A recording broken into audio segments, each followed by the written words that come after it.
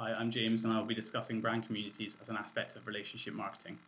Brand communities are defined as specialised, non-geographically bound communities based on a structured set of social relationships among admirers of a brand.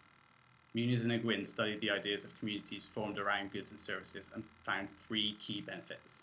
Increased consumer agency, increased information resource, and the enhanced social benefits that are inherent with a vast number of communities personal experience with the brand community surrounding Apple that has helped me as a consumer in the past but could still be improved upon from Apple's perspective.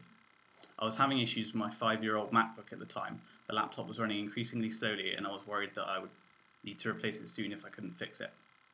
Even though the laptop was fairly old, they aren't cheap, so I wanted to try everything.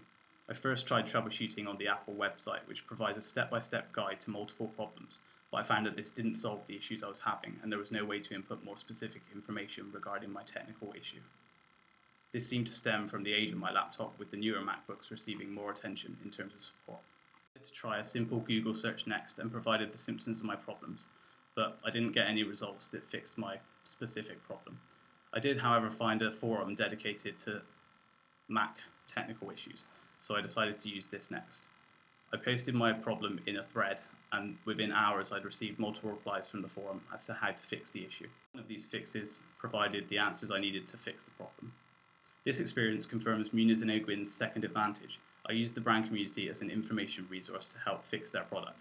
It also indirectly created the advantage of increased consumer agency because I spread a lot of good word of mouth about the community afterwards. Sign that Apple do have a brand community, it seemed like a wasted opportunity because my good feelings were placed towards the forum itself and not Apple.